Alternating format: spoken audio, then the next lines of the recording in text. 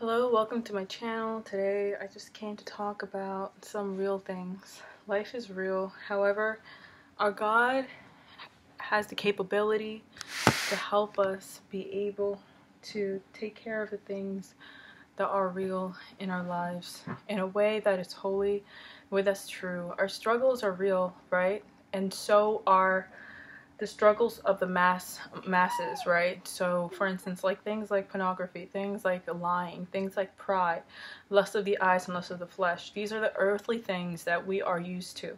These are the thing pride of life and the lust of the eyes and the lust of the flesh are three things that are in the world that is that we're accustomed to.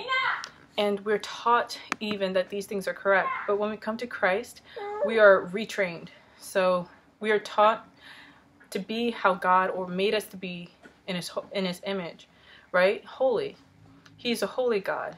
And if we're going to talk about being in the image of God, we have to see who God is, right? And then we have to understand, we have to be able through his Holy Spirit because it's not by our spirit or our strength or our works that we're able to obtain this, but through his Holy Spirit, by grace through faith, to be his image. That is the main purpose of every Christian here.